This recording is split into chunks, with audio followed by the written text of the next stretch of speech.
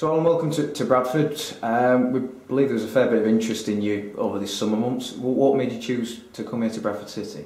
Um, obviously, I met up with the, the manager uh, a few a few weeks ago, and uh, he told me his plans for the club. Uh, he didn't really have to sell it that much because we all know how big a club Bradford City is, and uh, he uh, told me his plans, and uh, I'm absolutely delighted to be a part of it.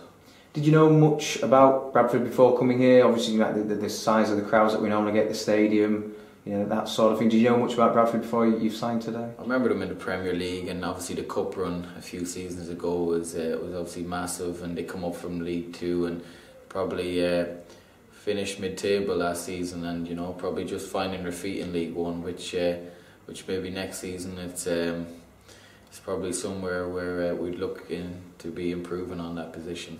Is talking of that, is that something that, that the manager mentioned to you when he was trying to, to, to bring you to the football club? You know, his plans for next season? Oh yeah, definitely. You know, it's it's no secret that uh, I'd love to get out of this division. You know, I've I've been to a number of playoffs now and fell at the final hurdle a few times, but. Uh, uh, yeah, it's a massive club and it should be at least in the championship. So I'm here to hopefully try and do my bit to try and get us there. And you talk of obviously experience of trying to get out of this division in, in, into the championship. Shows that you got great. You come here with great League One experience. Obviously, not just last season with Notts County, but you certainly know what this division's all about.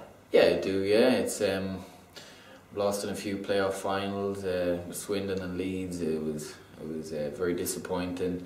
You know, uh, and uh, being one set piece away from going to the next division is obviously heartbreaking. But last year was a totally different experience with with Notts County when you're written off to stay in the division. It was a, it was a great achievement for the club in the end, and uh, I was delighted to be uh, to be a part of it.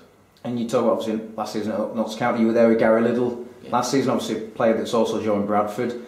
Uh, I suppose in, in, one ways it'd be nice to see Gary again, but I, I, believe you also know a couple of the other players here at the squad uh, as well. Yeah, Gary is uh, he's a brilliant signing, and it just shows the the ambition that the manager has when signing a player like him. He's uh, he's a great lad. You, if you had eleven Gary Liddles playing every week, you'd be you'd be getting promoted, and I would put my life on that.